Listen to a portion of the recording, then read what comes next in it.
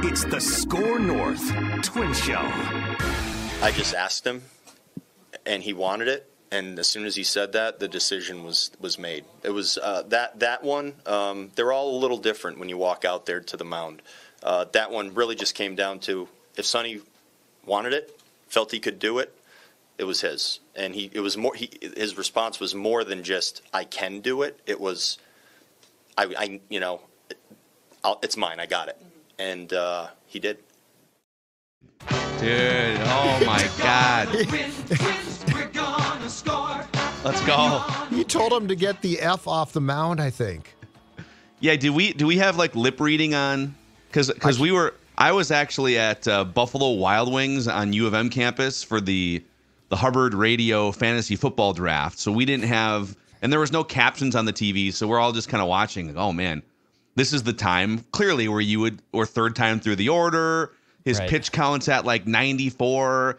This is like very clearly the time, and they probably decided already at two o'clock in the afternoon. He's kind of scuffling. This is the time where he comes out of the game, and then after the game is over, win or lose, he's kind of pissed off about it, and you know whatever because that's Sonny Gray. But they left him in, and he he gets a strikeout, gets a we'll call it a can of corn to the warning track for the third out. It worked out, right? It worked out. It, it worked out. So so I tweeted about it too because I remember there was uh, one time Maeda um, about a month ago or so was pitching and the same thing occurred. You know, because when Rocco comes out, you just expect that the starter is it's Captain Captain Hook. He's gone, and uh, I remembered that there was a Maeda situation in which I think Kenta got the last out as well of the inning we're talking about in particular. And someone tweeted back, "It's happened twice with Pablo Lopez this season."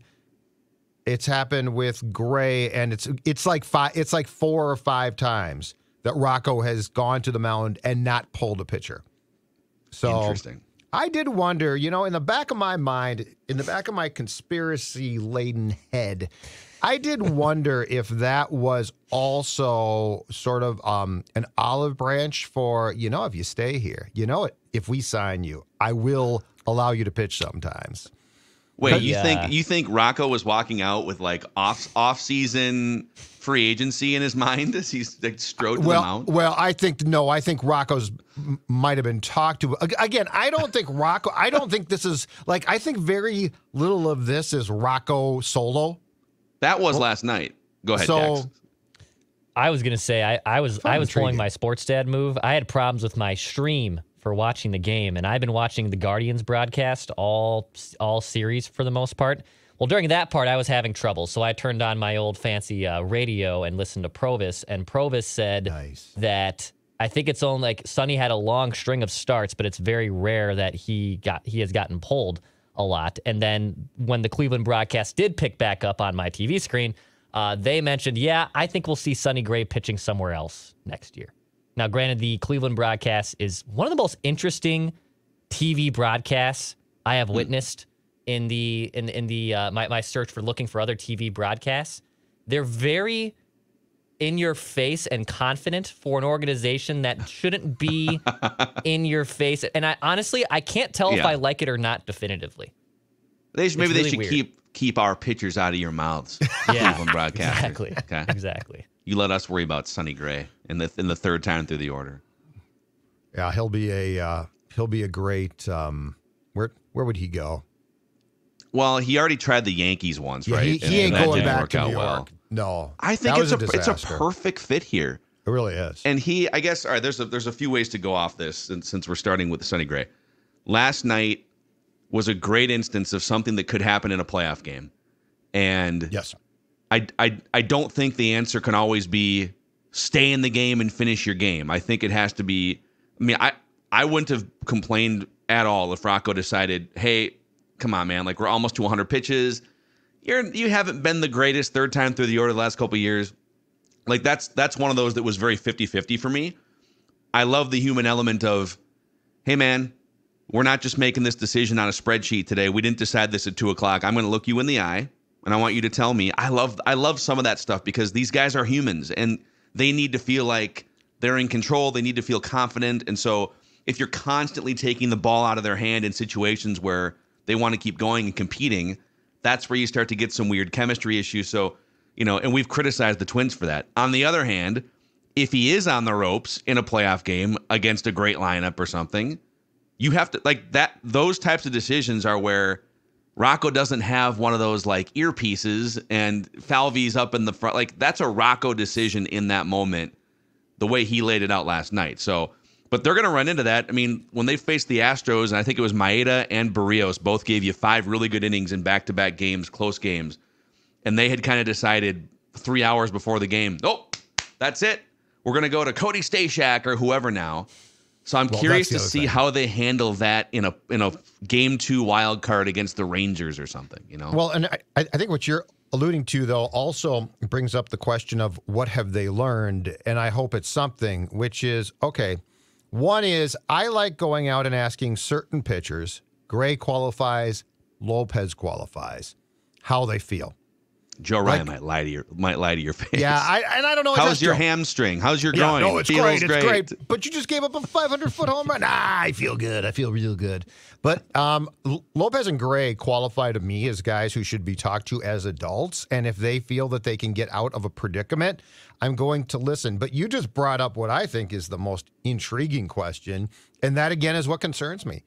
In trying to get a playoff win, is the is the wreckage that's been strewn by the manager and front office in playoff games going to change? Because you just brought up the most important thing, which was Cody Stashak, which is Randy Dobnak starting a game. So, like beyond, will you leave Gray in? Let's say you won't. Who are you going to replace him with? Because some of the moves in the playoffs have been, I think I can say this without without being um, without it being hyperbole, have been beyond weird, odd, and at times dumb. So if you if you are going to go to your bullpen, you're going to bring in your best guys. Okay, I sort of get that. In fact, I get that. But what I don't understand is some of the decisions that have been made, you know, both with Dominic starting game two against the Yankees in 2019 and then and then the Astros games, which by the way were winnable games. The Twins could have won that series. So Well- what have what have you learned there? That's my big question. Because if you haven't learned from that, we're gonna run into the exact same problems. Well, but but sometimes sometimes there are problems, and I agree with you. Last night there was a couple things that happened where in the moment I'm sitting there, you know, I'm in my snake draft and I've got my naked tenders and I'm enjoying a good fantasy football draft and I'm looking at I got I didn't even know about your naked tenders, dude. Some sauce on you guys aren't in on the naked the naked You tenders, should- dip them you in the should- sauce. Yeah. You, should dip put them in the sauce. sauce. You dip them in the sauce. Okay, that's okay. I would rather I'd rather them have some sauce. It just on sounded weird to me. Naked tenders. Naked tenders. There's got to be Naked some naked tenders. tenders fans out there in the SKOR North Oh, I'm Twin sure Show there audience. are. I just uh, Plus, when you're doing a fantasy dig. draft and you're like on your computer, That's true. Okay. and stuff. Yeah, all right. I don't want. I don't want. This is where I had the I had the advantage last night because I'm with you half the people, it's going around there. Oh, it's my ah, turn to pick, and I, oh, I gotta like, oh, like wash off my hands Patrick every time. Mahomes. He Yeah. was taken an hour and a half ago. Oh, oh I gotta look somewhere else. Meanwhile, Macadac with his clean hands and his naked tenders all day long to prep for the uh, So the snake draft. But I'm but I'm watching that thing play out last night. I'm like, wait, why would you this damn Rocco? Why would you pinch hit Kyle Farmer for Ed Julien in this spot, right? In my mind, it's like just let your there's there's five or six guys in your lineup, just let him hit. I don't care about platoon, keep him in the game, let him hit. Plus, it might come around later where there's a platoon Yes. advantage for your best hitter, right? Like Great point. and and if I'm not mistaken, Kyle Farmer hit a nuke out to the warning track. What didn't he hit a was that the Double. near home run? yes. off the top of the in fence. fact, in fact, Castro thought it was gone and decided to start jogging, which is why he didn't score. was it Castro who hit it or what? No, Castro was on the Fa- base. Farmer path. Hit right. it. Castro thought it's gone and just starts to jog and didn't right. score because he started Yes. to, to jog. Polanco also hit one off the top of the wall. Mm-hmm. Yeah. That It's a like weird- was it's a weird inches away. ballpark. It was a weird game. Weird game. But they have a system where, hey, we're we are going to go all in on platoon advantages. If we feel like this is a spot, even if Ed Julien is a better overall hitter than Kyle Farmer, we feel like in this situation against this platoon split, lefty versus righty. So I don't know. Part of me fights that because why are you pulling some of your best players out of the game? But sometimes they're right about it. Like last night, Matt Wallner gets two plate appearances, draws a walk. He was 0 for 1 with a walk. And then they bring uh, the next three plate appearances in place of Matt Wallner were Jordan Luplow, who struck out like Yeah. a non-competitive at bat. I hated that. Like this is a division on the line, season on not season on the line, but like division. You can wrap it up here, and you're literally bringing in like a minor league hitter to to face good pitching. And then Stevenson, who's literally like a 30 year old career minor leaguer. Yep. And I get it. They're trying to play the platoon splits, but those guys go 0 for 3 with two strikeouts. Matt Wallner is a first round pick who's been one of your best hitters, better against righties than lefties. So I understand some of it. I'm fighting some of that where it's like, why is Wallner out of the game, regardless of lefty righty, for two quad A hitters in a division on the line situation?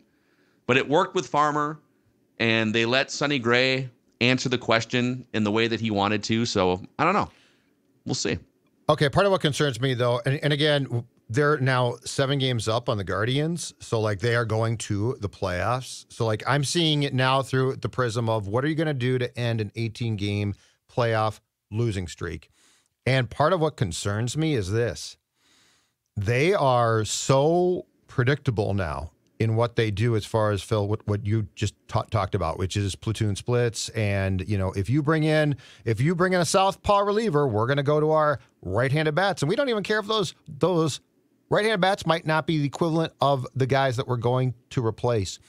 The predictability concerns me a lot because they're going and, and again i this is beyond baldelli in my opinion. I i don't think he's just in a vacuum down in the dugout. Like this is a No. strategic decision and what concerns me is getting worked in a playoff game because i'll go back to this Tho- those games are going to be won or lost by margins by small decisions and it's as simple as this. What was the uh, um, the home game about two weeks ago, where Julien comes out to hit, gets announced. The opposing team, I forget whom, goes says, "Okay, cool. We're going to go to a left-handed reliever." Julien then gets lifted and never plays. Like those, are the type Yeah. of things you're going to have to. You got to be smarter than being so predictable that you're going that that your moves are going to be used against you in a regular season game. Okay, it's probably not great, but it might work out fine. In a playoff game, what they did last night, especially with Stevenson and Luplow, is how you lose a game. That's what concerns me against a good team. And I'm trying to figure out because like Stevenson and Luplow almost certainly aren't going to be on your 26 man wild card roster in a month from now. So if it, let's say it's, hey, Wallner's had two plate appearances against the righty, and now they're bringing in a lefty reliever, and Donnie Barrels is the right-handed bat that we're bringing in. I'm okay with that. I think Yeah. they need to they need to draw a line where it's like, okay, Right. totally all four platoon uh platoon splits driving your decisions within reason. If we're going to replace a first round pick with a 9 uh, an 855 OPS who okay, he's better against righties than lefties for like minor league hitters and then that bat is not available then later on when a right-handed reliever comes back in for the fifth plate appearance we got to draw a line somewhere um, and so maybe that's what it is. Like Kyle Farmer's above that line. Donovan Solano's above that line. Certainly, I think both catchers are above that line. Joey Gallo came in to pinch run for uh, Vazquez Well- last night, and then got to play. Like, like that's where Joey Gallo shouldn't be on the postseason Well- roster either. But you just so so you just when when they meet at at two o'clock to like decide the fate of things, right? This is how destiny's going to go because we're going to decide at two o'clock, despite the fact that we can't tell what the game flow is going to be. Um, this is where I would love them to actually consult this show. Joey, Joey Gallo, Gallo did score. He did score. He, yeah, yeah, he did. But you know what? That's Stevenson's job. If you're going to have Stevenson or Gallo on on your playoff roster, I'm actually going to keep Stevenson over Gallo, and he's going to pinch run. He's going to be a defensive replacement. Um, he's going to do things like he's not pinch hitting for me unless I absolutely have to. Joey Gallo has become a pinch runner extraordinaire. Okay, yeah, that's true. Stevenson's better at that. Yeah. Stevenson's got speed. Stevenson on Yeah. first base can steal a base. Like this, this is where I feel like they get over their skis at times and outsmart themselves completely. Like, do they realize that Joey Gallo becoming almost exclusively a pinch runner is being laughed at? Like nobody's saying, have you Well, they, seen but they don't the- care if people are laughing Have you at seen them. what the twins are doing? But it's just so dumb. But they don't It's care. dumb. They don't care that it's dumb. Like they, I know, but they should because they're going to lose games because they're being dumb. That's the very point. That's to, the point. You're trying to shame them. Do you guys think? Okay. Do you guys think yes or no? Joey Gallo is on this postseason roster. No, I'm, No. I'm very afraid he's going to be. Yes. I don't think he is. I don't think. I he hope is. you guys are right. I hope you guys are right. I don't trust him. It's such an. It's such Y- an. you guys are right. unless unless you have unless Kirilloff can't go. I mean, Buxton looks like he can't go, and there's just openings. And okay, well, we need Well, we need someone, and it's either him or Luplow or something. I mean, would they choose Luplow over Gallo for? I don't know. I don't know where their heads at on that front. Kirilloff can go. They're just not calling him up yet because they want to see that he can play a bunch of games consecutively without being hurt. I They feel are- like I'm going to pause the show. I'm going to pause the show. Mm-hmm. I feel like your tone is too negative today. Okay? This team has taken two straight against Cleveland. They are now seven games up in the division. Yep. They're seven games over 500. They're Yep. actually closer to catching the two seed than losing the division. People are all, oh my God, are they going to blow the division? They might catch the Mariners for the two seed. They've got three excellent starting pitchers at the What's top the of their of the rotation. Wh- wh- What's the goal of the show? to win a playoff game, Yes. I'm telling you and they're going to be in the playoffs. Yes. So what I'm telling you now is I've moved on. And they I'm score trying to eight win a runs playoff every night. game. and I'm trying to help them win a playoff game, and the only way to do it is tough love. The I feel like you're just it, complaining about things. That's no, what I feel like. no, no, no. I am seeing it through the prism of the entire reason this show was brought back after a two-year hiatus To win bitch playoff about the game Twins? and to tell them what they're doing wrong so that they can get it right. Everything they do that we basically have told them to do has helped them, and everything. And everything they do, Sonny Gray being left in, was a long time, long time, rightfully so, gripe of this show. They did it last night, and guess what? It worked. Name one thing that we've told them to do that when they've done it has not worked. Because Well, it's that- common sense. So are you saying that we've been perfect in our assessment? I mean, there is a tweet floating around where I said I would trade Royce Lewis for two years of Frankie Montas, like and I would for Ohtani. A couple years. Well, ago. right, but then they but then they called up the right guys. Then they started to play the right guys. Then they started. You do it our way, you'll win. I wanted them to dump Gray when these morons, again, these dead ass twins, were doing the wrong things. I'm not going to apologize for the fact that this team has lost 18 consecutive playoff games. I'm not. This is tough love. I will Judd. say yesterday, even I was high stress. I was all like, a, if, if 10 is playoff Declan in the Astros series, I was at like a six at points yesterday because because they had so many times with runners in scoring position they couldn't come through. But mm-hmm. eventually, they came through. And at the end of the day, they beat the team. They're seven games up, and I'm optimistic about it. I definitely can't come in here and basically bleep on their flowers for having a seven game lead and having a good chance to finally win. Cleveland's not a playoff team, though, Dex. We're talking about a But- playoff but game you should a playoff beat- team. okay, Okay, but, Tex- regardless, but. Texas is a playoff team, and they just took five out of seven over the last two weeks from Texas. They And if you get beat the Texas, I love your chances, Texas. but you still have to do the right things. You still have to do the right things. You still have to understand what you're doing. Judd, let's say they did some wrong things, okay? And I'll grant that. I am criticizing some of the things that they've done too over the last, even while they've been winning. They have scored. Forget about like the six or seven runs they scored off of a position player. They've scored 21 runs in two games against a Guardians team that's on its last breath. i I agree. They're not the Braves, but like the Guardians are home. It's Francona's last chance, and the Twins have gone in there over the last two days and have stomped them out. Maybe not playing perfect baseball, but I think you're mistaking the goal of the show for being where it is, which is win a playoff game. And you're Mm-hmm. putting it up here and saying, no, they need to be the Braves. Well, eventually, I think that'll be the new goal of the show. No, but no, no, winning no, a playoff game doesn't require you being perfect in every decision, everything that saying- you do for no. three hours. I'm not saying you have to be perfect. I'm saying you can't be dumb. You can't make dumb decisions. They they made look, Rocco made a great one last night. Sonny Gray staying in was the right call. And and yes, you're right about Farmer Farmer pinch hitting for Julien actually worked. But then as you br- brought up, you put Stevenson in and Luplow in. And those are the type of things that lose you a playoff game because, like you said, you're going to get worked there. You're going to, what you can't have happen is you cannot have, and I don't fault the players here, you can't have the manager and ostensibly too, the, the front office get worked by the opposing team. I don't think they got worked in that game last night. Do you think they, got worked? I think that in a playoff game, you could be yes, you could be working. Do, I'm not do you think? Do you think Cleveland. like that the 2023 Astros are the 1927 Yankees? Like every every team makes decisions that could go either way. I here's here's the here's my grand takeaway here is that the Twins have destroyed the Guardians two nights in a row, two games where they they had to win to put the division away. They've mm-hmm. done it.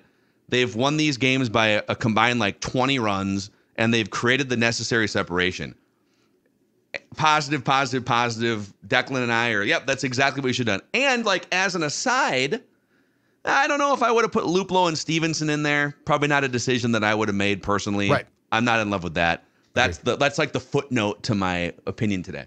You have come barreling in here and you have said, oh, the footnote is that they won a couple games, I guess, but my biggest takeaway is they're going to get beat 10 to nothing in any playoff No, no, game they no.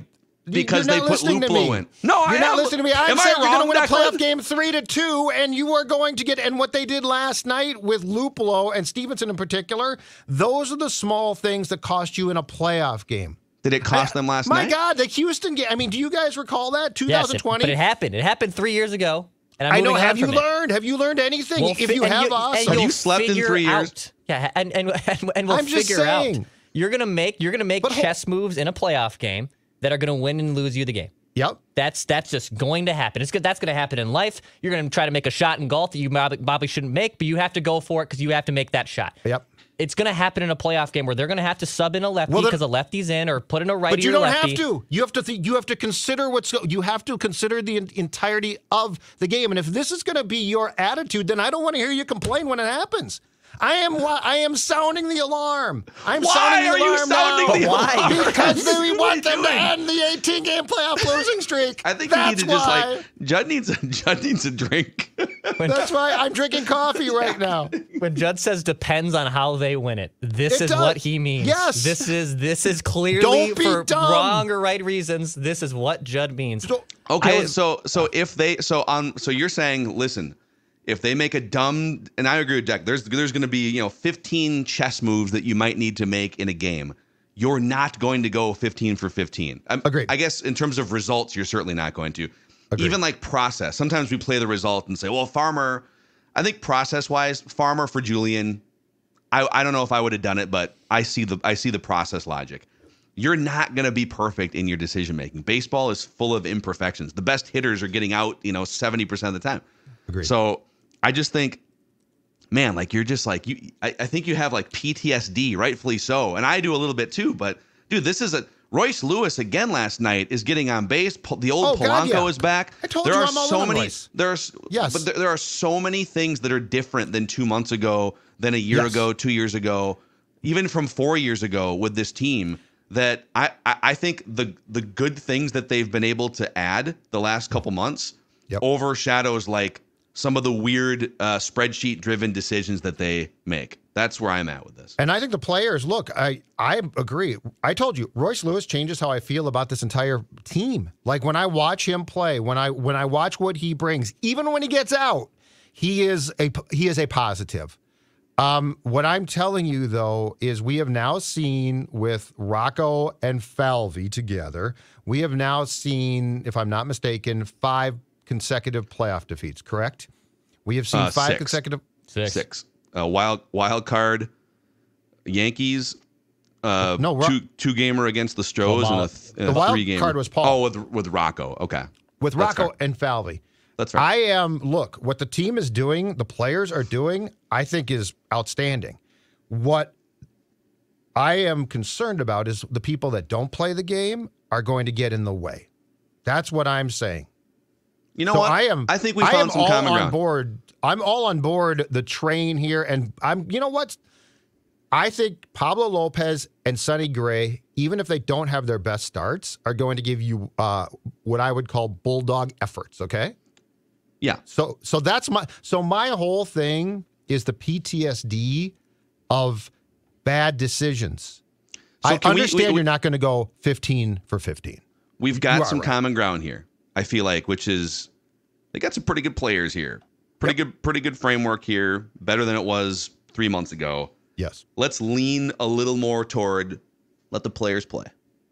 Let the players play. That's what I'm saying. Yeah. And a little less toward tinkering. Okay. I feel like I feel like you almost had an aneurysm though, like after an eight to three division ending win there, like 10 minute 10 minutes ago. I mean, you were shouting. You were You were old man. You were Abe Simpson yelling at clouds. yelling at a cloud. I'm not yelling at clouds. I'm yelling at Rocco and Derek, and I'm telling them, do your job, and that means get out of the way. Get out of the way. I am, I was worked up. If the goal is to win a playoff game, part of why I'm upset is I've seen enough now where I, I'm with with uh, you and Phil Declan. Like this team now with its current structure, with the kitty core being up, is a very different feeling team. And I want them to be given a chance in a playoff game to actually win at least one. And if you play Texas, it's my opinion that you should win the series. I was told, uh, so I'm a, I'm a sleep talker, big time sleep talker in my sleep. I, I babble, I, I say a lot of things. Apparently, on Monday night, my fiance told me in the middle of my sleep, I said the words, Judd, I need you to listen to me. That's awesome. Judd, Judd, I need you to listen, to me. Judd, listen to me. I need to listen to me. I wonder Judd. what the I wonder Calm what the down. context of the dream was. Probably either pent up twins frustration or microphone problems. My- or yeah, you know what? Probably computer. It's probably Mike, Mike, and computer problems. There's, she I was bet like, "What do you're- think that was like?" In was I bet you're regards to. I was like, "There is a lot on the table that that could have been." Could- it I, have been. I guarantee you, it's microphone problems. Because you, You know, told uh, me God, listen to me. a thousand times. You got to listen to this. Here's one other thing we can agree on. Okay, if the Twins do finally win their first playoff game in almost 20 years, we're gonna celebrate at Burger Press in Edina. We're gonna cheers some of the best burgers in the Twin Cities. So Burger Press in Edina, just off 494 on France Avenue, is owned and operates an independent burger shop, owned and operated by Minnesota sports fans who are SKOR North fans. Amazing burgers, Nathan's hot dogs. On the YouTube channel, you're seeing exclusive footage of a SKOR North lunch. Yes, this is uh, high caliber production here. Those crinkle cut fries, fantastic. They also have awesome wings, crispy chicken sandwiches, shawarma bowls, which are fantastic. Off 494 and France Avenue, Burger Press in Edina. Uh, also, hey, there are home games remaining here. If you want to go and nitpick the Twins like Judd is going to over the next few weeks, Mets coming in. Meet Judd can put his Met, his Mets hat on Meet the Mets. twins.com slash tickets. Twins.com slash tickets if you want to see royce lewis hitting grand slams all over the ballpark. He's got uh, three grand slams in the last week and a half. Tickets are available for upcoming home games here in september. Uh, i'm guessing that there's going to be a lot more people in the ballpark here as they get closer to october as well so twins.com slash tickets. All right boys it's time for us to get on the same page here work as a team and try and knock out the immaculate grid challenge. All right. take taking the show by storm here. So, Judd's gonna. Um, um, uh, uh, the All Star category is kind of and the Rockies, but the Ro- yeah, it, it's fine. It's stolen fine. bases. You're okay with stolen bases? well, we're gonna Um, find out. You know what? You, way more than Gold Gloves. I like stolen bases. Way I more like than Gold bases, Gloves. too. I don't like Gold Gloves and Silver Sluggers. I'm not a huge fan of those. Stolen bases are absolutely fine. I So here's here's what we're looking for. We're going we're trying to go nine for nine. Uh, I think we've like for for us to get a rarity score below 50 when you add up all the percentages is really good. So if we if we go down that path, maybe we can uh, flirt with a good rarity score. But we're looking to go nine for nine here. A pirate who was an Astro, a pirate who was a Rocky, and a pirate who stole 30 bases in a season.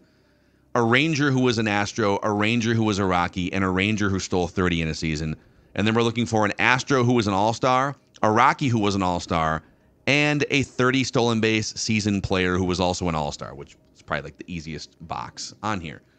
Uh, so I'll put uh, I'll put six minutes on the clock here. It's just our own parameter to keep us in line, and off we go. Rocky, who was a pirate, is Justin Morneau. Yeah. Can we do this with all twins? No, I probably can't.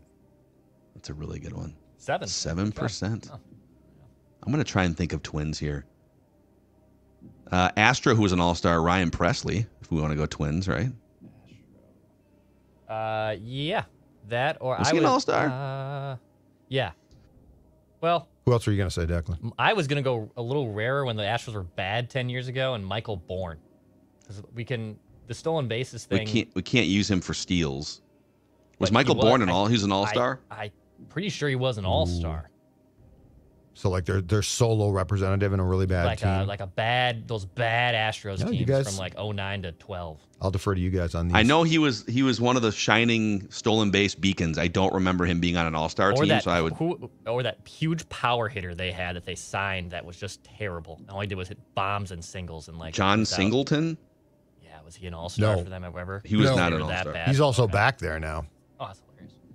Uh, I mean, there's so many. I mean, I mean, if we want to start, Yeah, well, just take. if you if you're confident on Bourn, let's do Bourn because that's going to be a low one. Point five at a boy. Nice, Nice job. nice, nice, nice, nice. Okay, Rocky All Stars. I mean, there's the obvious like the Gal. We've used Galarraga a couple times. Yeah. Uh, the Larry Car- Walker, Dante Holliday. Bichette, Cargo, uh, Tulo, Todd Helton, Helton, Ubaldo Jimenez. Ubaldo Jimenez f- for sure was an All Star at The one, one point. year he was really good, and that was it. Trying to think of like because Um, they they've sent someone every year, even in come with. Oh, what about Vinny Castilla, Oh, You and guys Dante remember him? Bichette, right? Dante Bichette. Dante Bichette? Those guys are old school Rockies. Yeah, that's a good. I love Vinny Castilla. He, he Vinny was a Castilla. brave. Castilla. Yeah, you're good. There he There is. you go. Vinny Castilla. Ninety-one Let's two six. Yep. Three. Three percent. Nice. He was a brave for a while. I owned him on my rotisserie baseball Uh, league team. Who's an obscure 30 steal guy that also made an All Star game? So obvious ones are like Besides like, Bourn, who we just, but that we're, we're good with Bourn at the point five. like Yep. Barry Bonds was was a big one, but um, even did Knoblauch? Did Knoblauch ever steal thirty? Yeah, he stole forty-seven, I think. And he made All Yep. Star games. That's a great one. That's a great one. Yep.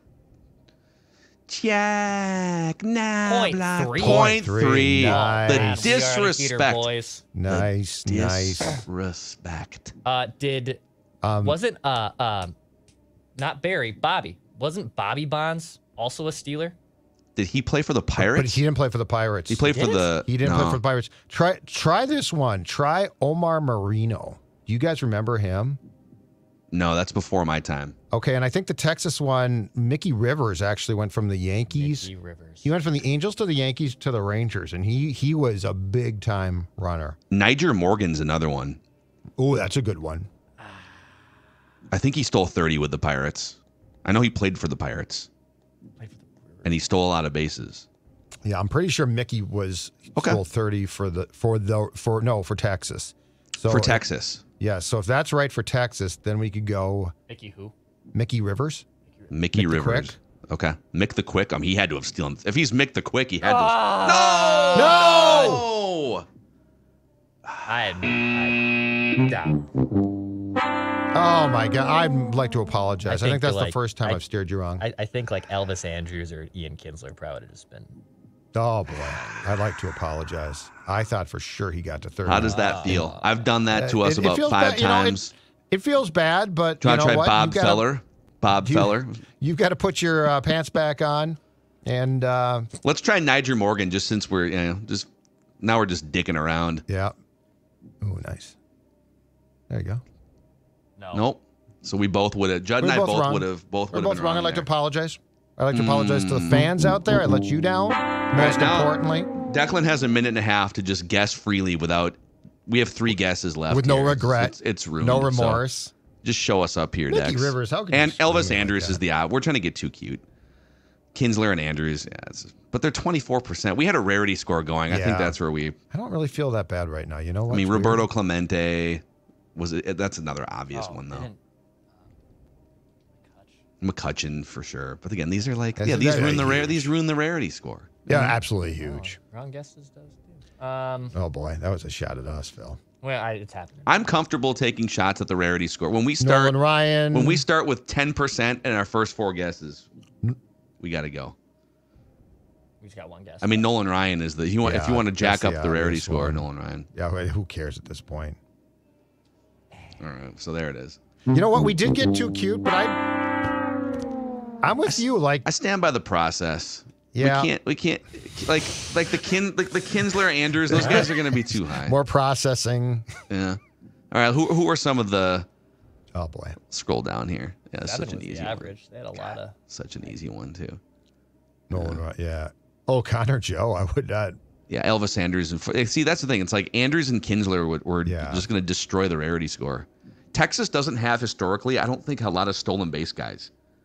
Like they've like in the '90s, it was a bunch of power hitters. Like, did Rusty Greer ever steal 30? Let's look that up. Uh, so on the list for your Elvis Andrus, um, Ian Kinsler. Who played center Oh, for them? Alfonso Soriano. That would have been a good one. Otis Nixon. Juan Fr- uh, Julio Franco. Mm, Uh, Julio Cecil Franco. Espy. Let's see what Mickey Rivers. Look at that. The Rangers Espy. have only had 17 30 stolen base guys in their history. That's and that goes back to like oh wow! So Bobby Bonds did do it with Texas. with Okay, Texas. but not Texas. because he didn't play with. Oh, Pitt, he did not play with Pittsburgh. Okay. Well, that's disappointing. All right. Well, we tried. We came. We We'll be saw. back. We failed. We'll, we'll be back tomorrow.